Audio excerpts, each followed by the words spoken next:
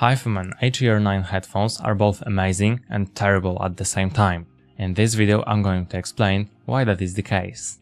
First of all, HE-R9 is a closed-back dynamic driver headphone from HiFiMAN, and you can get it for $200 directly from HiFiMAN's website. There is also a wireless version of it, which is significantly more expensive. They use the topology diaphragm technology, which features a special nanoparticle coating applied to its surface, which is supposed to result in a more natural and detailed sound. Let's begin with their build.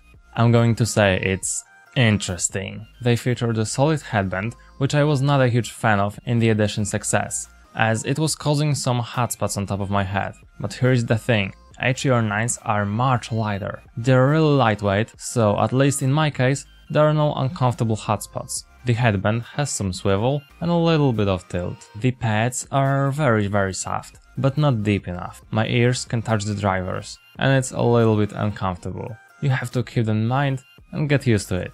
The design aspect of this headphone is weird. They are huge and can look really damn well on your head. I've heard mixed opinions about their aesthetics. Some people think they look cool, others don't, but it has a reason to be so huge, which I'll discuss later.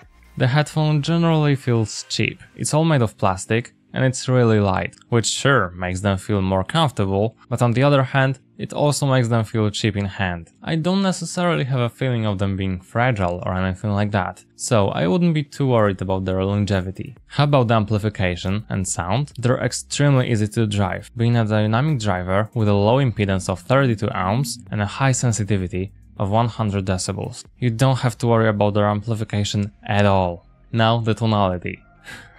That's the fun part. Just take a look at the frequency response graph. There is a massive, enormous boost to the bass and low mids.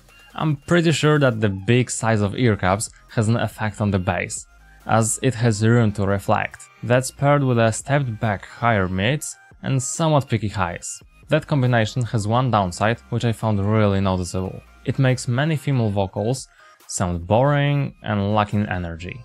To be honest, HE-R9 specializes in bass. There's a lot of it, and it's really punchy. I'm not sure what they did to them, but the bass doesn't bleed to the mids, at least most of the time, cause it sometimes happens. With that crazy amount of bass boost, it's unexpected. What's also unexpected is that it doesn't sound muddy. There are songs where it can get a tiny bit muddy. Now, the soundstage and separation. As for a closed-back dynamic driver headphone, you'd think it's going to have an extremely intimate sound.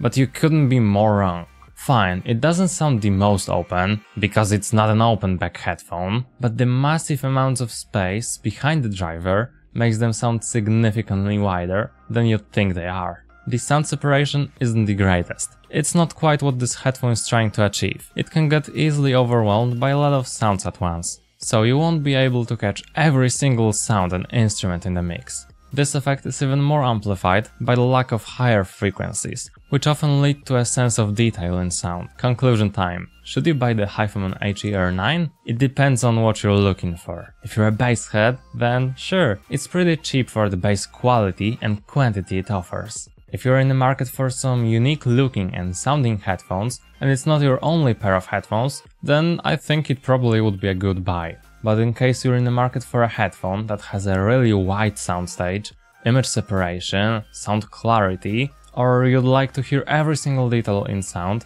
then it's definitely not a headphone for you, and you should watch any of my other reviews.